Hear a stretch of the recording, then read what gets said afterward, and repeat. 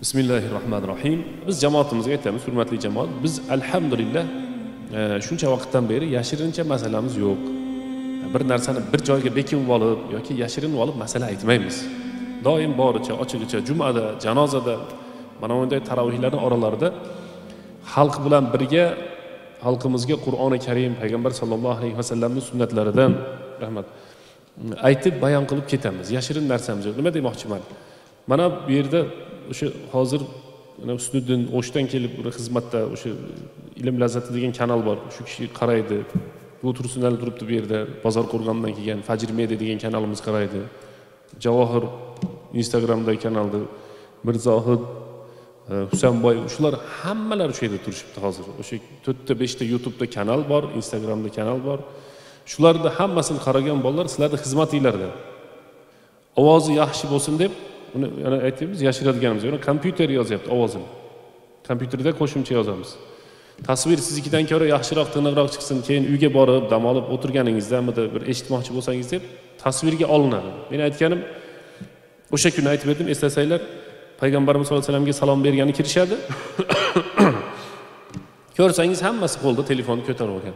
Chala salom berib chiqib ketaveradi hammasiga xolasiga jo'natyapti. Shuning uchun biz iltimos qilamiz hammanglarga shu narsani men anaqasini yuklagan bo'lardim iltimos qilib yoningizdagi bir sherigingizmi bir nima video ko'rayotgan bo'lsa birodar keling eshiting masalan. Ertaga chiqadi internetdan. Mana farzand tarbiyasidagi bittasini men chiqarib qo'ydik kechagi kuni bitta qismini chiqardik internetga. Ertaga chiqadi shuni ko'rib olasiz e, deb aytib qo'ysak bo'ladi inshaalloh. Shuning uchun o'y fikringiz buzilmasin niyatlarimiz ham buzilib qolmasin xolislik muhim. Shu yerda yana jamoatimizga aytadigan so'zimiz bor ekan. Men buni endi sizlar bilan yaqinmiz shuning uchun men aytib qo'yaman. Mana shunday internetga chiqayotgan bo'lsak bir o'zimiz ichimizdagi gapni aytamiz endi jamoatga internetga chiqayotgan bo'lsak masalalar qo'yayotgan bo'lsak buni orqasida hech maqsad yo'q birodarlar. Men bir eshitib qoldim. Domla youtubedan ancha muncha pul ishlaydi ekan deb. Bizga hech pul kelmaydi youtubedan bu narsalarni biz to'xtatganmiz. Boshlanganda darrov to'xtatganmiz. Ishlarimiz xolis alloh taolo uchun bo'lsin deb. To'rt beshta youtube kanalimiz bor. Shu bugundan hozir shuni pul ishlashini yo'lga qo'ysak bir oyda besh ming dollar jo'n pul keladi. Besh ming dollar pul keladi har oyga bekardan lekin men bizni bu nimalarimiz bu yerdagi adminlarimiz masalani pulga sotmaymiz. Ha va internetdan biz pul ishlamaymiz. Shuni biz aytib qo'yaylik. Qaysidir joylarda shunday bo'libdi domla internetdan pul ishlaydi ekan. Endi bu gapimizdan chiqib masalan yana ikkinchi tarafni ham aytib ketishimiz kerak. Qaysidir domla kanalda masalasidan E, pul tushayotgan desa ular bilan meni hech nimam yo'q. Biz haligi nima deydi pozitsiya deymiz men o'zim baribir ba'zan bayon qilib tushuntirib turish kerak bo'ladi o'zimni holatim. Kim qanday masala qilyapti nima deyapti qayerga boryapti kelyapti ana u narsa bilan meni qiziqchiligim yo'q. Ya'ni har bir inson o'zi mas'ul dunyoda ham oxiratda ham. E, Rossiyadan bir kishi telefon qilib do'stlarim bor. Aytadiki shunday deyapti bolalar kecha ham o'zim men tortishib ketdim. Bu yer juda shaxsiy narsani aytamas aytadigan joy emas u lekin payg'ambarimiz sallallohu alayhi vasallam shu meni ayolim mana shu deb e'tikofda aytgani shu gapni bu meni xotinim desa yo rasululloh siz haqingizda gumonga boramizmi desa yo'q men aytib qo'ymasam bo'lmaydi degan maqsadda payg'ambarimiz sallallohu alayhi vasallam shuni aytganlarda shuning uchun aytyapman sizlarga. Ikki oy muqaddam bir do'stim telefon qilib rossiyadan aytyapti shunaqa men bitta ikkita odamlar bilan tortishib ketdim. Internetda deydi seni mana shuncha oyga pul ishlaydi deb aytyapti deydi. Allohni oyatlarini arzonga sotmanglar degan oyati karima bor. Biz alhamdulillah masalamiz orqasidan birinchisi pul ishlamadik. Inshaalloh ishlamaymiz ham va pul boshqa taraflardan alhamdulillah yetarli. Puldan muammo yo'q inshaalloh. Pulimiz yetarli. Hammamizga ham yetarli. O'zingizga to'q bo'lsangiz hammangizga yetarli. Ana shu tarafdan aytyapman. Ikkinchisi masalani orqasidan chiqayin deb bu yana uch to'rt marta u yerlar bu yerda bo'lgan narsalar bu yerga siz hozir qur'on eshitishlik uchun shu ichingizda ba'zilar ko'pingiz abdulaziz domlani eshitaylik qarang qanday masala aytyapti deb keldingiz men abdulaziz domla haqida aytyapman. Ikkinchisi men mana shu internetga chiqib gapirayotgan bo'lsam bir mashhur bo'lib ketayin odamlar meni tanib qo'ysin degan maqsad hech qachon bo'lgan emas birodarlar. Ana aytsam sizlarga bir yil qarshilik qilganman hech qanday masalamni chiqarmanglar deb. So'ngra bir yil zvukini chiqarishgan. Mayli mayli deb. Ana qirg'izistonimizda hozir mana muftiy hazratlarimiz e, zamir qorrakiyev adeb bashat degan bir fondi bor. Mana shu fond kelib menga videongiz bilan bir kitobni nima qilib berasiz deganda o'sha fond orqali chiqishni boshlab keyin videolarimiz chiqib ketdi. Bugun chiqayotgan bo'lsak mana masalan mana telefonda ba'zi paytda men madinaga borsam yoki makkaga umraga borsak bir narsalarni darrov tasvirga olamanda chiqaraman. Masalan ba'zi bir domlalar ham bloger bo'lib ketdiyu domlalar ham bir shu tarafga o'tdiyu degan narsa bo'lsa hurmatli jamoat buni to'g'ri tushunaylikki e, domlalar imomlar hammasi ham shunday deb men gumon qilaman va ayni o'zimni aytmoqchimanki men hozir shu ko'rib turgan narsani el ko'rsin shuni ichidan foydalansin deyman. Makkaga borib bir safar kaptarlarni videoga olib chiqardim. Men sizga kecha hadis aytib berdim. Payg'ambarimiz sallallohu alayhi vasallam zinokar ayolni itga suv yuborganligi haqidagi hadis. Zinokar ayolni itga suv berganini hadis qilib imom buxoriy abu hurayradan kelyapti. Nima sababdan makkada o'sha kaptarlarga dom bergani ichkarisi bizni din insongayu jamoadot maxluqot o'sha jonzotlarga ham yaxshilik qilishga buyurilgan bizni dinimiz bo'ladi. Mana shu narsani aytdim. Ehson nafaqat insonga ehson qilasiz. Uyingizda payg'ambarimiz sallallohu alayhi vasallam bir safar bir tuyani yozyapsizmi? Shu shuni ham internetga chiqarib qo'yaylik. Yozib olyapsizlarmi adminlarni maqtab qo'ydik ulashyapti o'chirib qo'ymadinglarmi? Alloh rozi bo'lsin. Mana bu kishi husniddinni kanalida ellik olti million odam e, ko'ribdi shu masalalarimizni.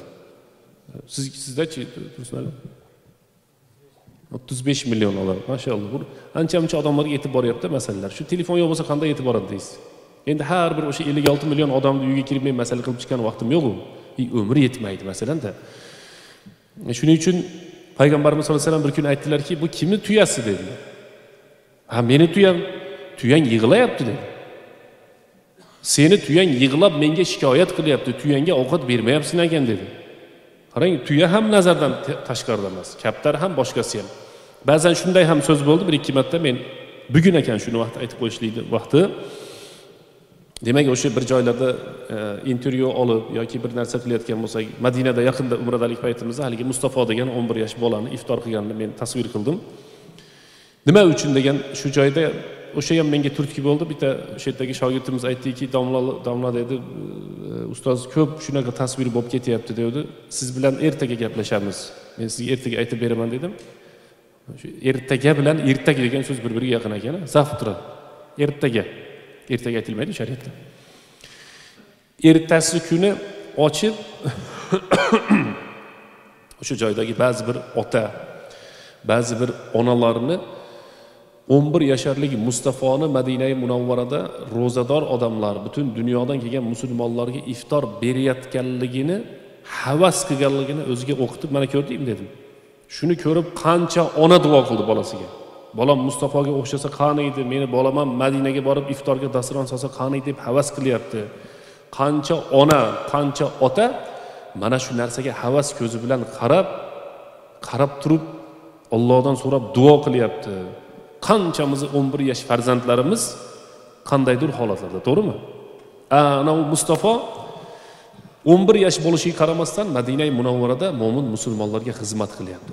Nimagadir siz nima qilasiz dalolat qilasiz. Shuning uchun men aytardim sizlarga mana jamoatimizga. Hamda ancha muncha mana internetda ko'rib turgan odamlarga men aytardimki e, imomlarni domlalarni to'g'ri tushuninglar. E, shayton bor. Ba'zi paytda kelib nima qiladi? Endi masalan aytish mumkinda e, domlalaring ham bloger bo'lib ketyaptiyu masalan bular ham mana shu narsaga kiryapti desa boshqalarimni ham shunday deb o'ylayman. Ayni men meni o'sha tasvir qilayotgan bo'lsam bir narsani ko'rsatsam maqsad doim bitta bo'lgan. Alloh adashtirmasin mana shunday qilib duo qilishlarni so'rayman.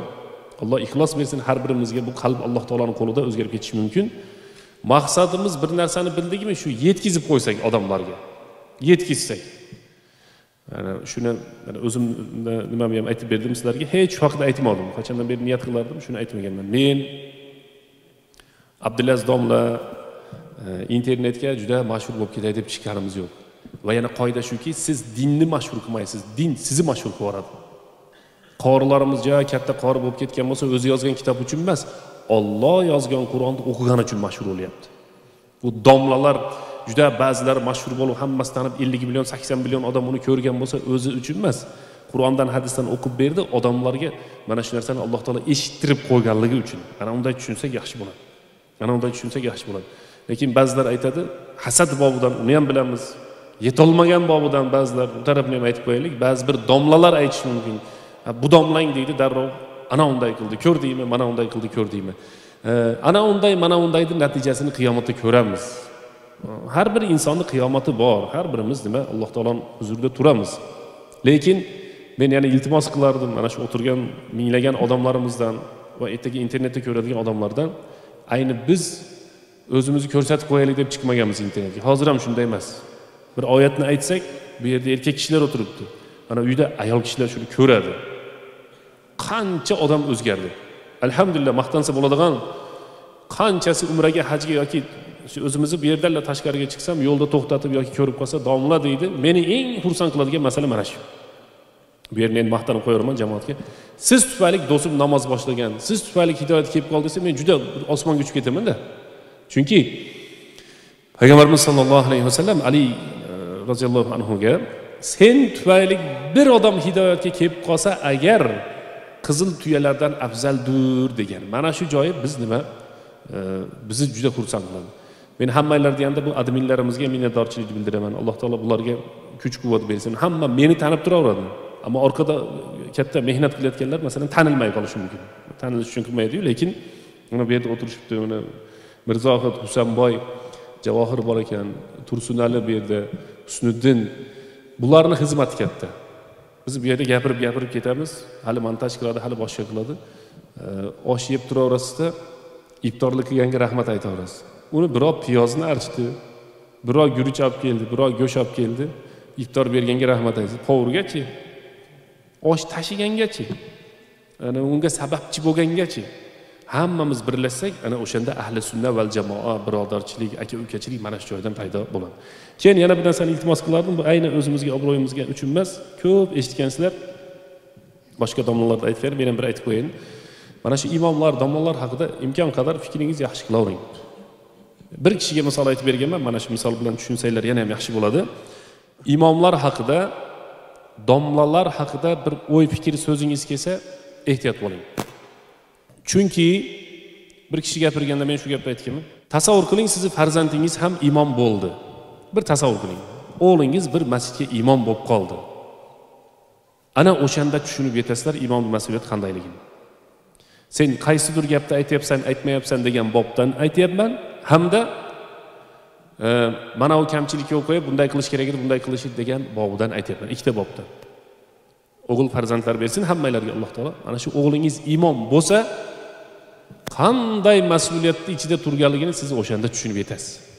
Shuning uchun biz jamoatimizga aytgan bo'lardikki imomlar haqida har xil o'y kelsa fikr kelsa bir so'z keladigan bo'lsa agar yaxshilik xohlasangiz ummatga qo'lni ko'tarib duo qiling isloh qilgin mana shu kishini to'g'ri yo'ldan adashtirmagin e, deb duolar qilsangiz mana shu sizni ixlosingizga dalolat ammo analiz qilib qo'ysangiz ham orqasidan gapirib qo'ysangiz ham bir narsa qilsangiz ham hech so'z yo'q. O'zgarmaydi mana shu foiz yo'l ketaveradi. Ammo amal daftaringizga nima bo'lib qoladi. Mana shu kuni mana shunday dedi degan narsa yozilib qoladi.